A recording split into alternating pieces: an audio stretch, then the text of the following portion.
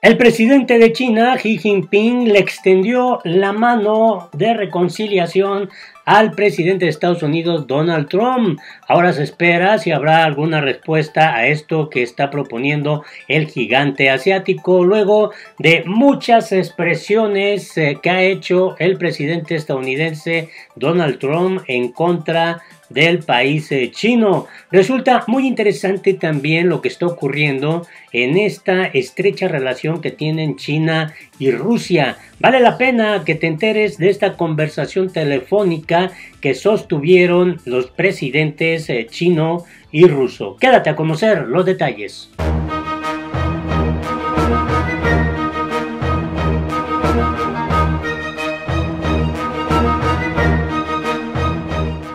Hola, te invito a que te suscribas a nuestro canal, que le des manita arriba para que esta información pueda llegar a más personas y no te olvides de darle la campanita para que te llegue inmediatamente la notificación cuando se suba un nuevo video.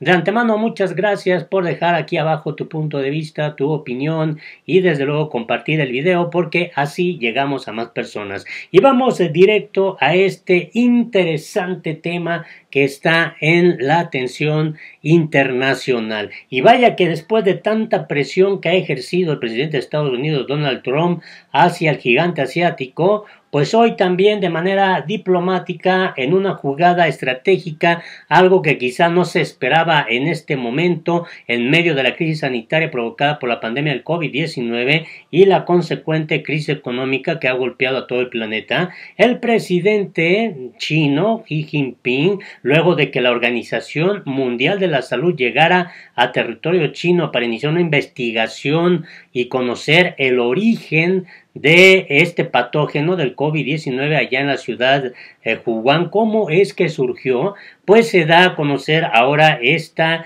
nueva determinación que ha tomado el gobierno chino. Y esta es la información que se da a conocer. China pidió una reconciliación con Estados Unidos y propuso tres listas con los temas clave de la relación. El régimen de Xi Jinping reconoció que el vínculo entre las potencias atraviesa su momento más desafiante desde 1979 y quiere reparar los puntos en los que hay cooperación factible de los que deben ser negociados y los que no tienen de plano ya solución. China realizó este llamado a la reconciliación entre el gigante de Norteamérica y el gigante de Asia. Propuso la elaboración de listas para identificar y resolver las disputas que mantienen ambos países. En un inusual discurso publicado en la página web de la Cancillería, el ministro de Asuntos Exteriores del régimen chino, Wang Yi reconoció que ambos países se enfrentan a los más graves desafíos desde que establecieron relaciones diplomáticas en 1979 y expresó que desea que los lazos se desarrollen de una manera sincera. China está dispuesta a hablar si Estados Unidos quiere, Solo el diálogo puede evitar los malos entendidos, afirmó, y agregó que ambas potencias han de coexistir pacíficamente y enviar energías positivas. El tono conciliatorio marca una diferencia con respecto a las declaraciones de hace unas semanas en las que advirtió que Washington y Beijing estaban al borde de una nueva guerra fría. El jefe de la diplomacia china se mostró partidario de limar asperezas y a tal efecto sugirió elaborar eh, varias listas para que ambos países las estudien. La primera concerniría a temas bilaterales y globales en los que las potencias pueden trabajar en cooperación, mientras que la segunda trataría de asuntos problemáticos que, en teoría, la disputa aún puede resolverse mediante el diálogo. La tercera lista enumeraría problemas sin solución. Entonces podríamos manejar esas disputas y minimizar el daño a las relaciones con base en el espíritu de buscar puntos en común mientras mantenemos nuestras diferencias, explicó. Según Wang, la política estadounidense respecto a China se centra en juicios erróneos que no se basan en hechos y una paranoia macartista y la clave estaría en que no pueden pretender cambiar al otro. China no puede ser otro Estados Unidos. Tenemos nuestro propio camino acorde a nuestras características, dijo. El trasfondo de las diferencias entre las dos potencias es la subyacente pugna por la hegemonía, la guerra tecnológica y comercial y más recientemente el intercambio de acusaciones sobre el origen de la actual pandemia del COVID-19 a cuenta de la nueva ley de seguridad para Hong Kong o por la situación de derechos humanos de las minorías musulmanas en la región noroccidental china de Xinjiang. Pero vale la pena recordar, a través de otro video que también puedes encontrar en este mismo canal, que Estados Unidos eh, dijo que es mucho el daño que China ha hecho no solo a esta potencia de Norteamérica, sino a todas las potencias a nivel global y a los países que también forman parte del planeta. Y por esa razón la relación ahora se encuentra más tirante que nunca. Y en este escenario también se da a conocer que China por otro lado, busca estrechar las relaciones con Rusia. Vladimir Putin apoyó a Xi Jinping en sus esfuerzos por mantener la seguridad nacional en Hong Kong luego de la aprobación de la polémica ley. El presidente chino, por su parte, felicitó por teléfono a su homólogo ruso por el controversial plebiscito de reforma constitucional que le permite mantenerse en el poder hasta 2036.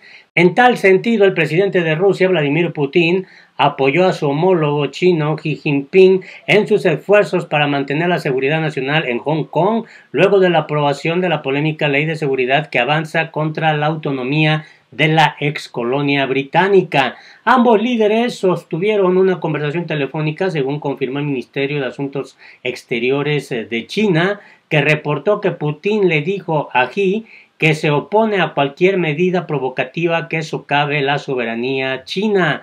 Creo que China es totalmente capaz de mantener la prosperidad y la estabilidad de Hong Kong a largo plazo, dijo Putin, citado por la cartera de China de Exteriores. Por su parte, Xi felicitó a Putin por el plebiscito de reforma constitucional votado entre el 25 de junio y el 1 de julio que permitiría al mandatario ruso permanecer en el poder hasta el 2036, un proceso denunciado por varias irregularidades. Como siempre, China apoyará a Rusia a la hora de elegir un camino de desarrollo que se amolde a sus características, dijo Xi, y agregó que es necesario que ambos países sigan cooperando en un momento de cambios en la situación internacional. La buena sintonía entre los dos mandatarios quedó implícita al rechazar al unísono la interferencia de otros países en sus asuntos internos, algo que se debe prevenir en clara alusión a la supuesta injerencia extranjera en Hong Kong. Y vaya que este mensaje pues va completamente dirigido a Estados Unidos. Las libertades de Hong Kong han quedado en entredicho a ojos de buena parte de la comunidad internacional tras la reciente imposición por parte de Beijing de una controvertida ley de seguridad para la ciudad. La normativa castigará hasta con cadena perpetua supuestos de secesión, subversión contra el poder estatal, cargo habitualmente usado contra disidentes y críticos del régimen comunista, actividades que tengan que ver con esta acción de terroristas y confabulación con fuerzas extranjeras para poner en riesgo la seguridad nacional. Categorías tan amplias e indefinidas que para los críticos de la ley buscan poner un freno a la ola de protestas pro-democráticas que tuvieron lugar en 2019 y comienzo de 2020, centradas en el creciente control de Beijing sobre la ciudad. Mediante el acuerdo de traspaso de soberanía firmado en 1997 entre el Reino Unido y China, la ex colonia Hong Kong volvió a ser parte del gigante asiático, pero se le permitió mantener el sistema capitalista y las protecciones a la libertad de expresión y protesta que los habitantes del resto del país no gozan. Este acuerdo, conocido como el de un país, dos sistemas, debía regir por 50 años hasta 2047, aunque la reciente Ley de Seguridad Nacional parece haberlo puesto en duda. Rusia ha salido en defensa de su vecino asiático en numerosas ocasiones y en mayo aseguró que no veía motivos para culpar a China por la propagación del nuevo coronavirus y mostró su preocupación por las acusaciones de Estados Unidos contra el país asiático. Y en este sentido vale la pena conocer un poco más a profundidad este pues comunicado que dio a conocer el Ministerio de Relaciones Exteriores de China. Aquí podemos verlo en pantalla. Xi Jinping mantiene una conversación telefónica con el presidente ruso Vladimir Putin.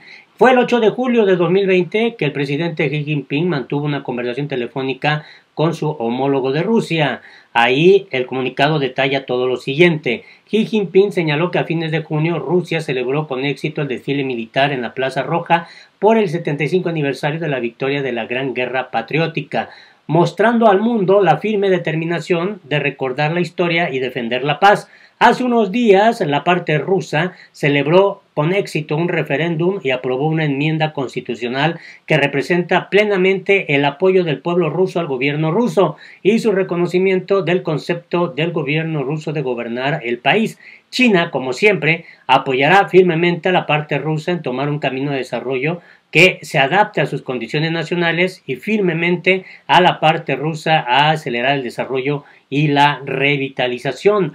Xi Jinping enfatizó que la situación internacional actual está cambiando rápidamente y como un socio integral de cooperación estratégica es muy necesario que China y Rusia fortalezcan la comunicación y cooperación estratégicas. China está dispuesta a continuar apoyándose firmemente con Rusia, oponerse resueltamente al sabotaje de la interferencia externa salvaguardar su soberanía nacional, seguridad, intereses de desarrollo y salvaguardar los intereses comunes de ambas partes.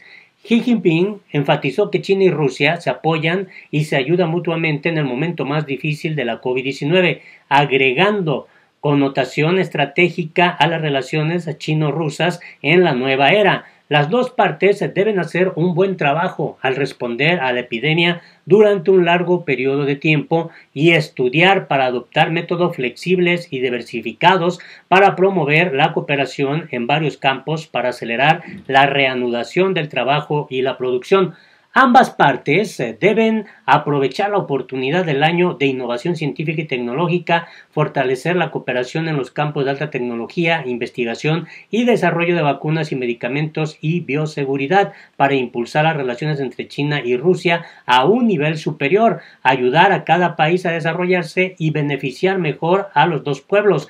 China está dispuesta a continuar cooperando estrechamente con Rusia en marcos multilaterales como las Naciones Unidas, salvaguardar el multilateralismo, oponerse al hegemonismo y las acciones unilaterales, salvaguardar conjuntamente la equidad y la justicia internacionales y hacer mayores contribuciones a la mejora de la gobernanza global y la construcción de una comunidad con un futuro compartido para la humanidad. Por su parte, el presidente ruso Vladimir Putin, según el comunicado, dijo que la reciente adopción de una enmienda constitucional por el referéndum de Rusia ayudó a mantener la estabilidad política a largo plazo de Rusia, salvaguardar mejor la soberanía nacional y oponerse a la interferencia externa, tanto Rusia como China aprecian su soberanía y seguridad y siempre se apoyan mutuamente, ya sea que estén ayudando mutuamente en tiempos de epidemias difíciles o no hace mucho tiempo la Guardia de Honor del Ejército Popular de Liberación China fue a Rusia para participar en un desfile militar en la Plaza Roja. Las relaciones entre China y Rusia están al más alto nivel en la historia. Rusia apoya firmemente los esfuerzos de China para mantener la seguridad nacional en la región administrativa especial de Hong Kong y se opone a cualquier acción provocativa que debilite la soberanía de China. Creo, dijo Putin, que China es plenamente capaz de mantener la prosperidad y estabilidad a largo plazo de Hong Kong. La parte rusa considera las relaciones con China como la más alta prioridad de la diplomacia y está dispuesta a trabajar con China para continuar promoviendo la cooperación pragmática en varios campos entre los dos países, fortalecer la comunicación estratégica y la coordinación dentro del marco de la Organización de Cooperación de Shanghái y las Naciones Unidas y mantener la estabilidad y seguridad seguridad estratégica global. Vladimir Putin expresó su solidaridad por las inundaciones y los desastres geológicos en el sur de China y Xi Jinping expresó su gratitud por esto. Así está de pues tan estrecha esta relación entre Rusia y China que hacen un frente en contra de las pretensiones de Estados Unidos. Así está este panorama. Ojalá nos des tu punto de vista, tu opinión. Recuerda darle manita arriba para que lleguemos a más personas. Hasta la próxima.